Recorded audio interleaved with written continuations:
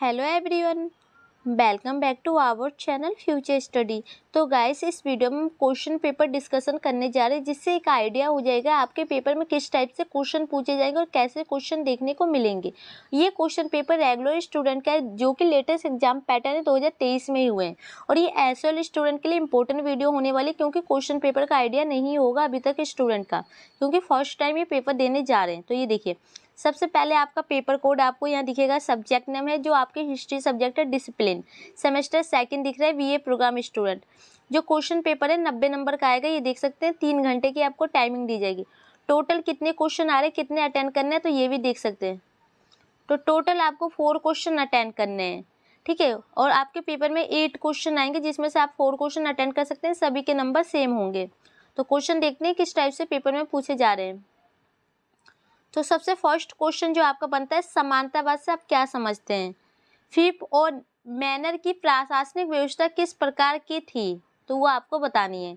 और जो second question आपका बनेगा, बारहवीं और तेरहवीं शताब्दी के मध्य पश्चिम यूरोप की समानती अर्थव्यवस्था तथा समाज पर शहरों और व्यापार के विकास के महत्व का आंकलन कीजिए।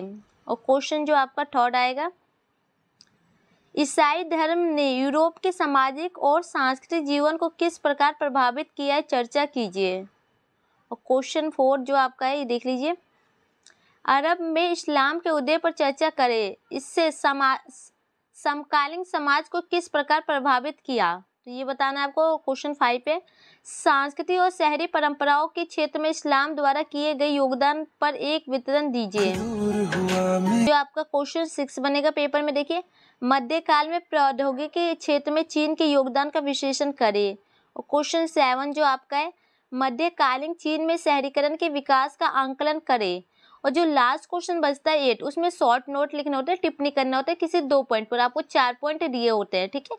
तो ये आप देख सकते हैं आपके सामने ये चार पॉइंट इस टाइप से आपके पेपर में आएगा। फ़र्स्ट पॉइंट आपके सामने सेकेंड है एंड थर्ड पॉइंट है, और फोर पॉइंट में आप देख सकते हैं।